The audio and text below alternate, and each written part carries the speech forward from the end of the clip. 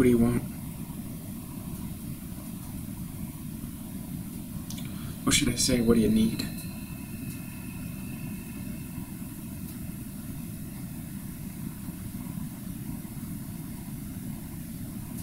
You haven't noticed that people have such a difficult time with that word?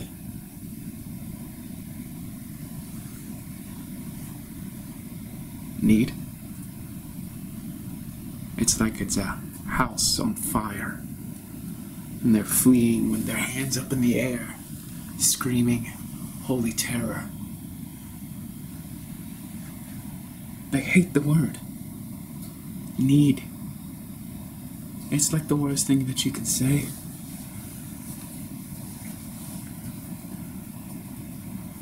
But I ask them to think about it simply, without all the intellectual kerfuffle.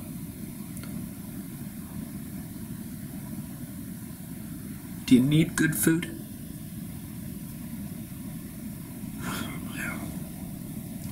No, seriously, do you need good food? Or do you just need average food? Do you need healthy food? Can you get by with just McDonald's? Because we know that you need food, right? Unless you're a breatharian.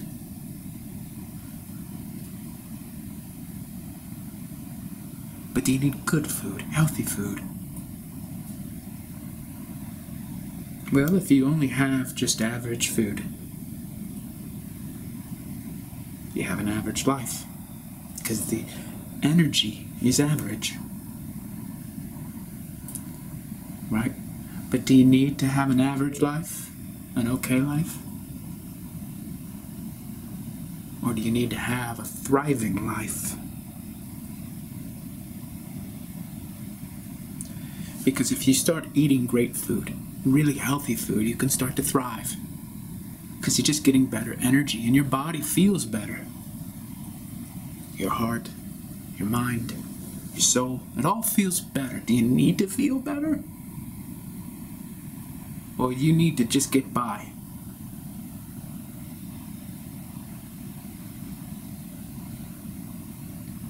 Do you need to thrive?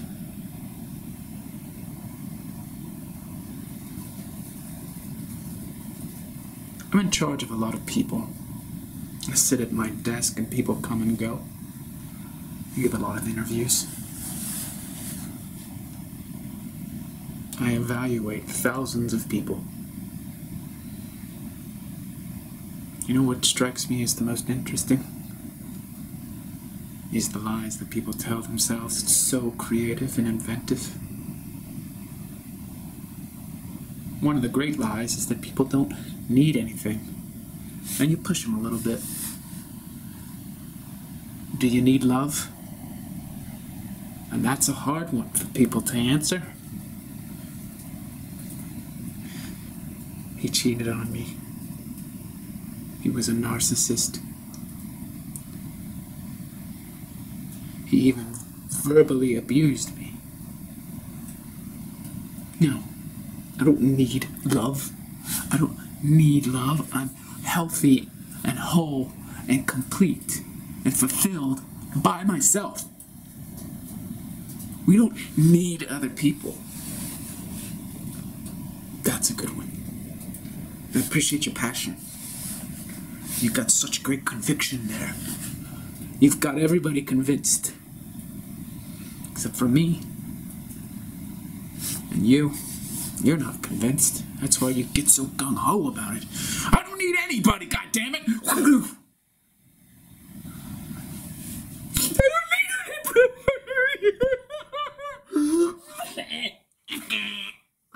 Would you like another tissue? Yes, please! I don't need any more! Ah! Obviously. Obviously, you don't need anyone. You goddamn right I don't! Can I go now?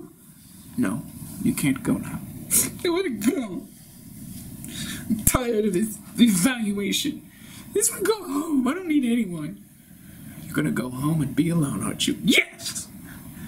You fucking cheated on me with that whore. He broke your heart. Yes! He broke my heart.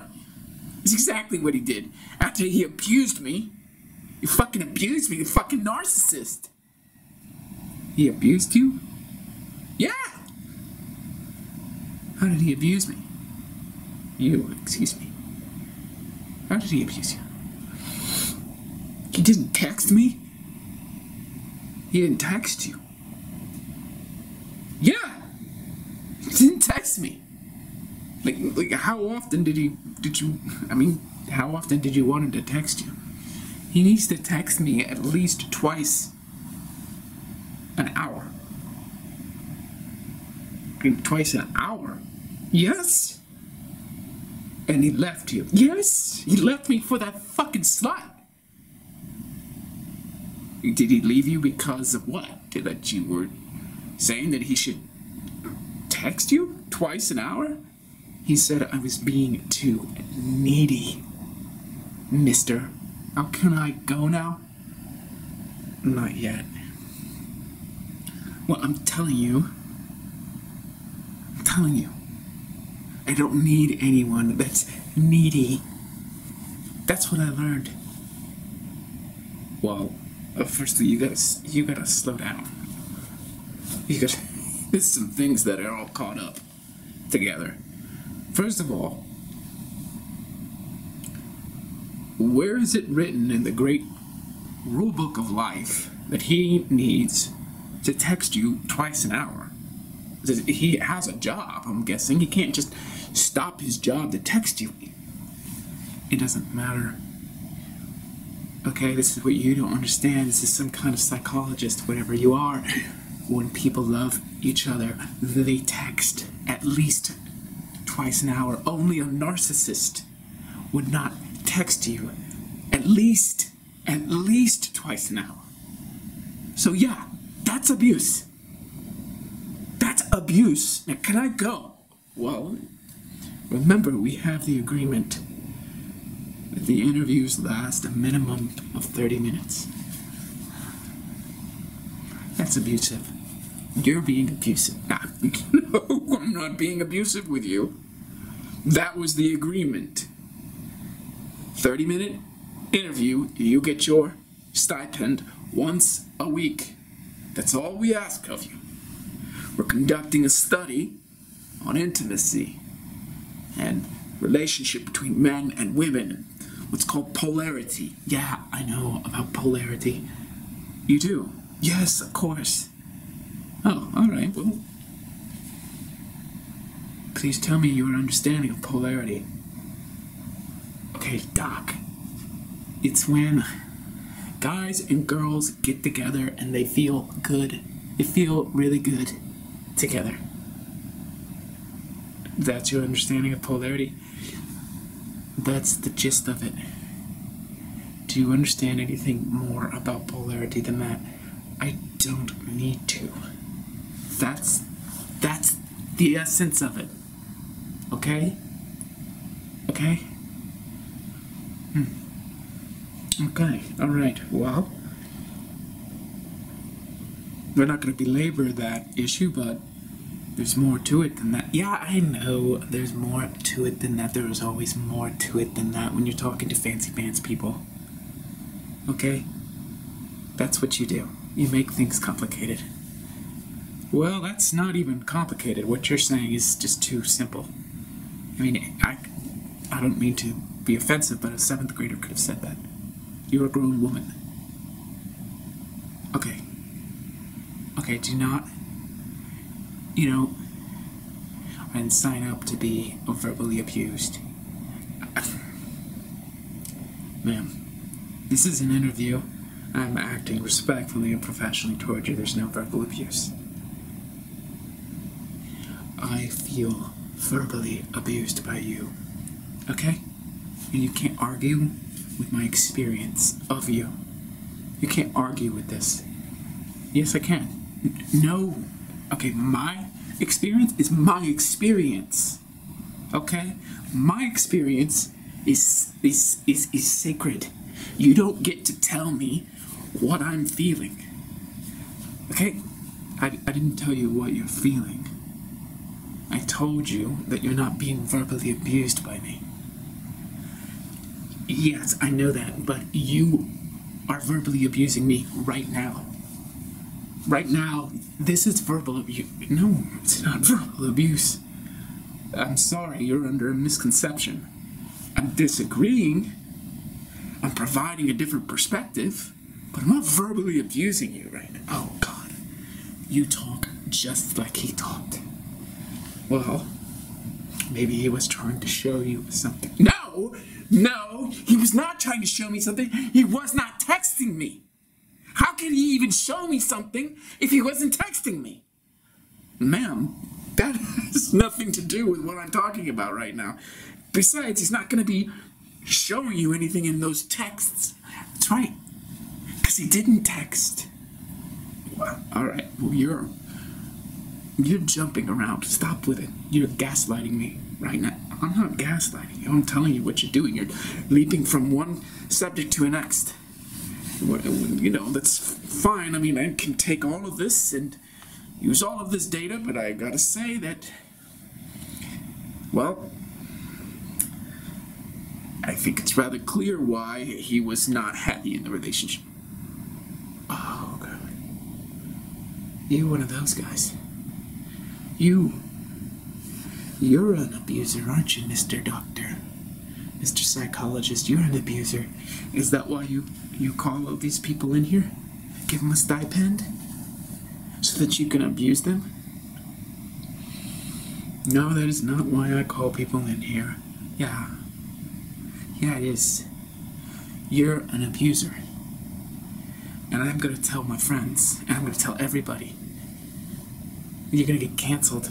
We're gonna cancel you for being abusive. Mm. Before you cancel me, young lady, for being abusive, I want you to consider something. I'm actually just a nice guy conducting an interview. And that your behavior right now is probably what killed the relationship with your man. He's probably not a narcissist. He's probably not an abuser. He probably left you. Because you were kind of abusive toward him. Tell me, when he didn't text you two times an hour, how did you treat him?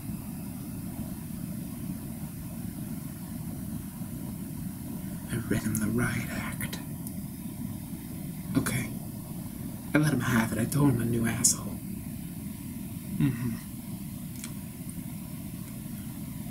So you were abusive toward him when he didn't text you twice an hour? Yeah. Because he wasn't texting me. Do you understand what I'm saying? He was not texting me, so I was, I was, I had the right to tell him a new asshole.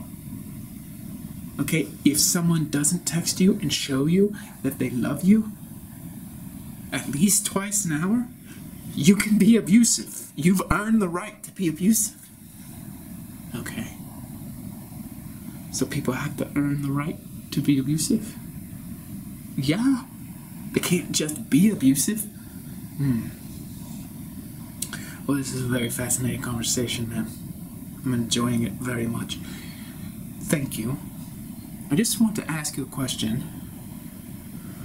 I know it's a sensitive subject for you.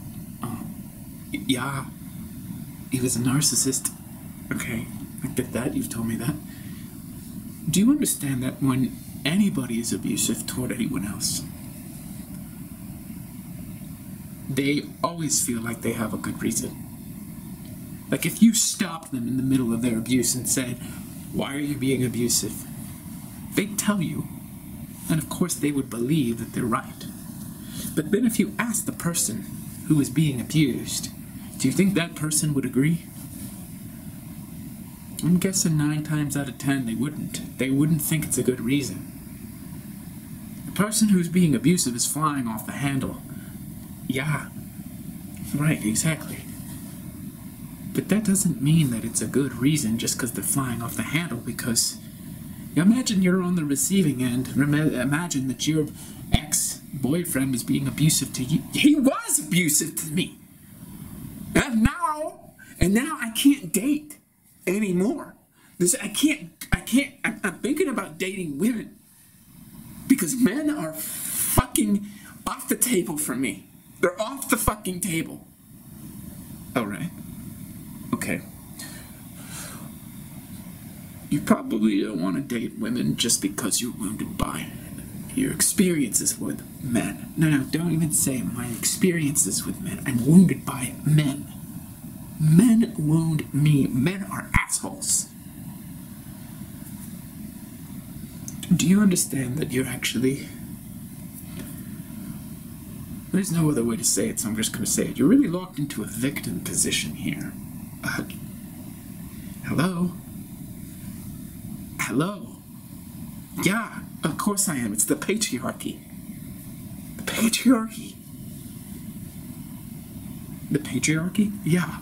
The system of oppression by men, uh, uh, white men? Oh, okay. So if I understand what you're saying correctly, you're born into a system and you're oppressed, and therefore, what? Therefore, men suck, sir. They suck ass. And I'm gonna date women. I don't. I don't think that you're gonna be happy dating women. I, I just think that that's a way of. Uh, that's a way of continuing the cycle of blame. The cycle of blame.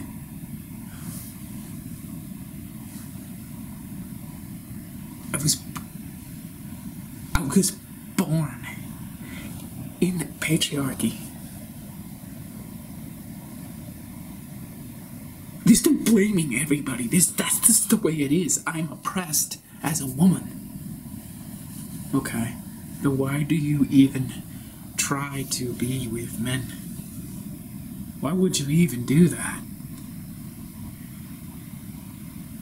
Because I'm straight. Alright. Okay, so isn't being straight part of the patriarchy? What? Like, aren't straight people oppressing people who are not straight? Yeah.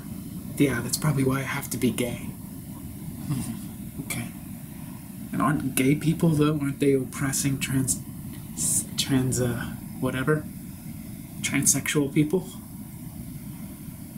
Uh, or. Yeah, aren't they trans. aren't they oppressing other people? Maybe. Maybe I'll be gay for a while and realize that I need to be a transsexual or asexual. hmm Do you think that maybe sometime in the near future, then whatever identity you choose will be oppressing some other identity? Because that's just kind of the way that reality is structured right now. Everybody is a victim.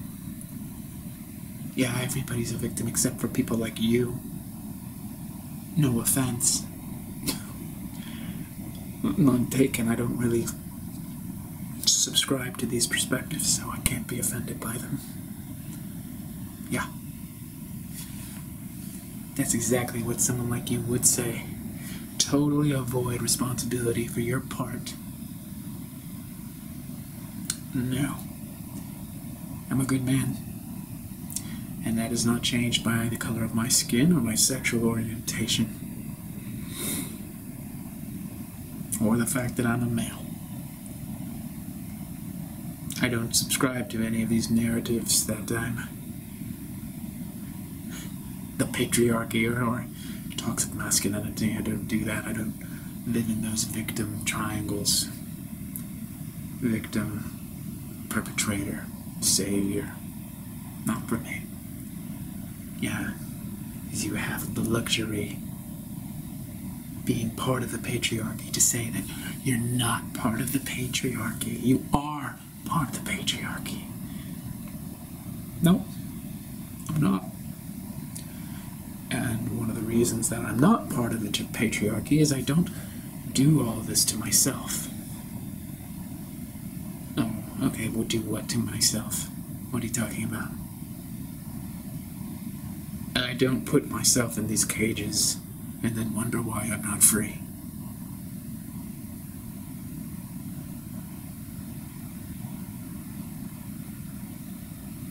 What cages? Well, everything you're talking about's a cage. It's obvious you're very unhappy. You're the victim all the time. Your ex boyfriend doesn't text you twice in an hour, and all of a sudden he's a narcissist abuser. And you have to see women for the rest of your life. It's a really shitty way to live your life. Yeah, it's really bad. I must tell you, it's a cage and you created it yourself. And uh, you're not seeing that you hold the keys. But maybe after this kind of interview, and you're welcome to come back next week for another stipend if you like. I think you're you're great. I mean, there's a lot that I'm learning here. Yeah. Okay.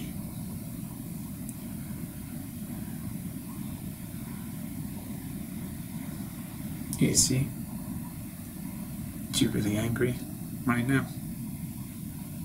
Yeah. I'm furious. I know. You've got a lot of anger. And that's one of the reasons you keep on thinking you're a victim. But that anger is the one that pushes people away, makes them leave you. And then you call them a narcissist or an abuser. And you hate men.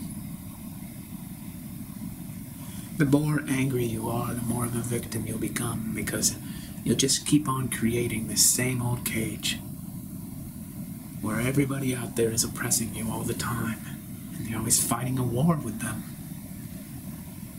And then when they leave you, you can't see that you're the one who pushed them away. You just can't see it. And so you get angrier. And you come in here and you try to spin circles around me with your great rhetoric and your identity politics that philosophy and it's not making you happy. Still in your cage. You're gonna try to date women now. You don't you're not even attracted to women.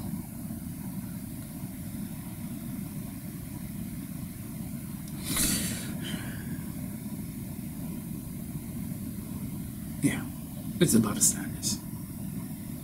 You can feel your sadness. I can feel your anger. Do you really want to live the rest of this beautiful life with so much anger and so much sadness? You might as well just really get in touch with that sadness.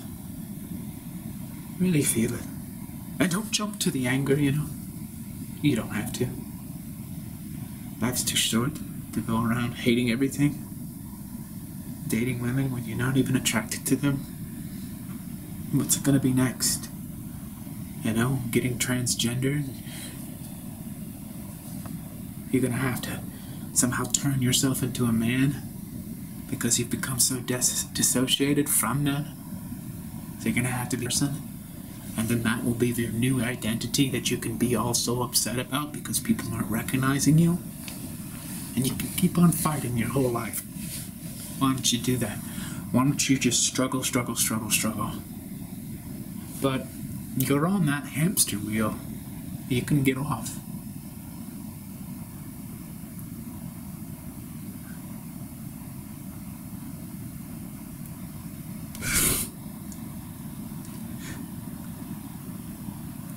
I hate you.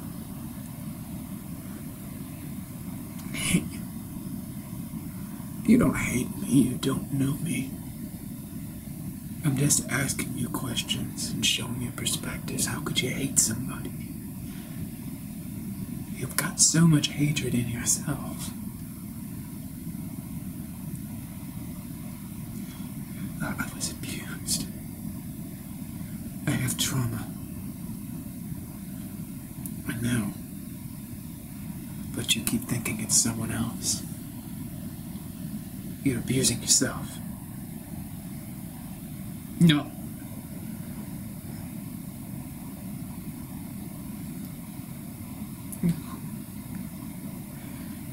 Did you really have someone in your life who abused you?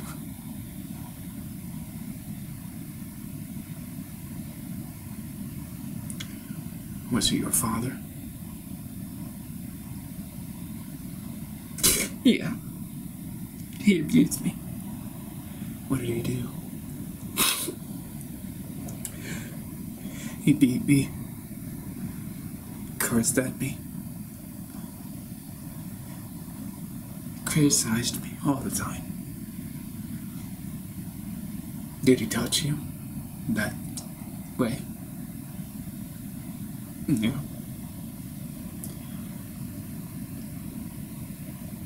So you see how it works.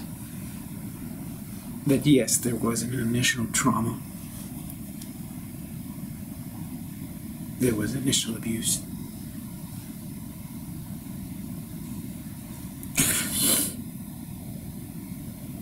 yeah. And then you just take it into every relationship, but mostly with men. And you play out the same cycle every time. And it's obviously rooted in your upbringing with your father who was abusive to you. But you didn't heal that or cut that. You just keep replaying it. And then you wonder why it shows up everywhere you go. It's because you're taking it everywhere with you. You carry it like luggage, it's baggage. And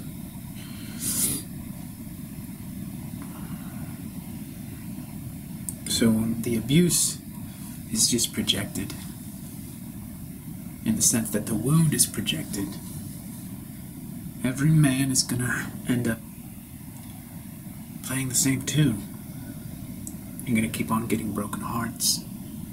You're gonna keep on wanting to merge and bond and love men, you know? But you're not gonna be able to because you keep replaying that script. And you get another broken heart. It's not abusive when a man doesn't text you twice in an hour. But if you haven't healed your relationship with the masculine, with man, with your father, then it's going to seem that way to you. It hurts. I'm waiting. I'm there with my phone, waiting for him. He isn't text my heart is broken. I understand that. But you're just clinging too much. You are too needy. I do not need him. Well, I beg to differ. We need each other. That's why we keep going after each other. That's why we keep getting attracted and form these relationships. We need each other. Just like we need healthy food. If you want to live a life where you thrive, then you're going to need other people.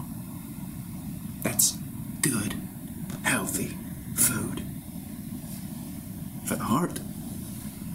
If you want to just get by, you could keep eating McDonald's just because you need to live.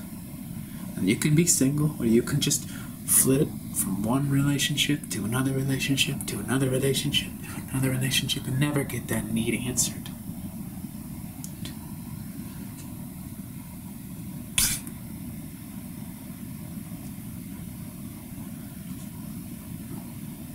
He broke my heart. I couldn't get out of bed for weeks. This is the first time I've really gotten out of bed to come do these interviews. Because I was. Because I need money. He broke my heart. Right. We need people who can answer our heart. And we need to answer another person's heart. In other words, we need love, and we need to give love.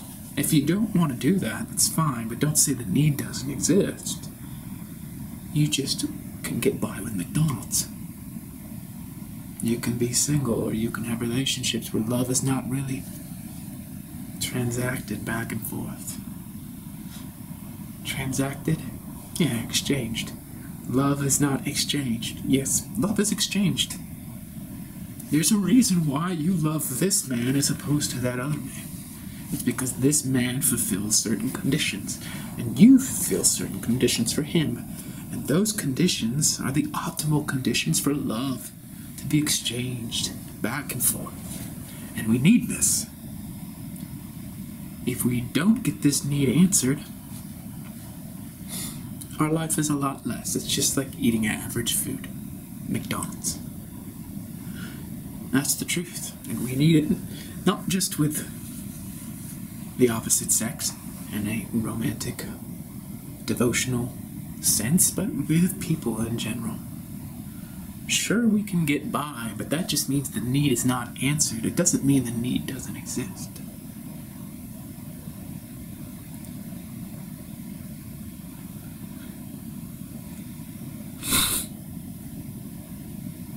I want to get out of bed.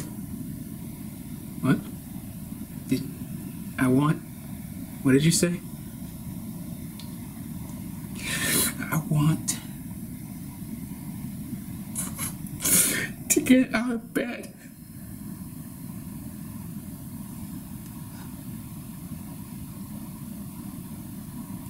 Good. I want you to be excited about getting out of bed in the morning. I'm coming back next week. I want to come back mm, even before. I want to come back. Well, definitely going to come back next week, okay? We're very happy to have you. We're thankful that you volunteered. Well, there's a stipend, of course, but we're thankful. I want him back. I know you do. Can I have him back?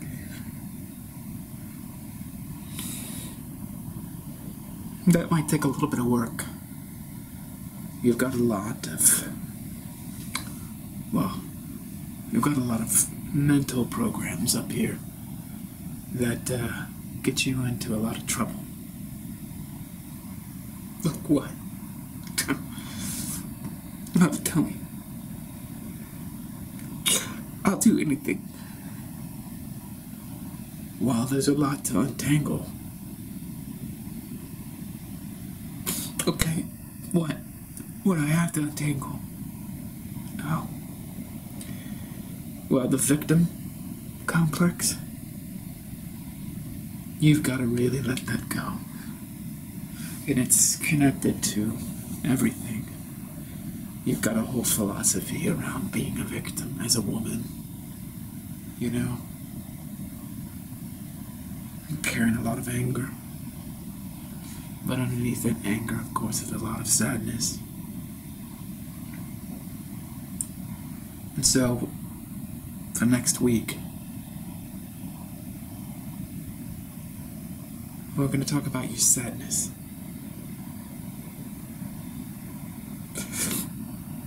I don't want to be sad for a whole week. I know. But it beats being angry for a whole week.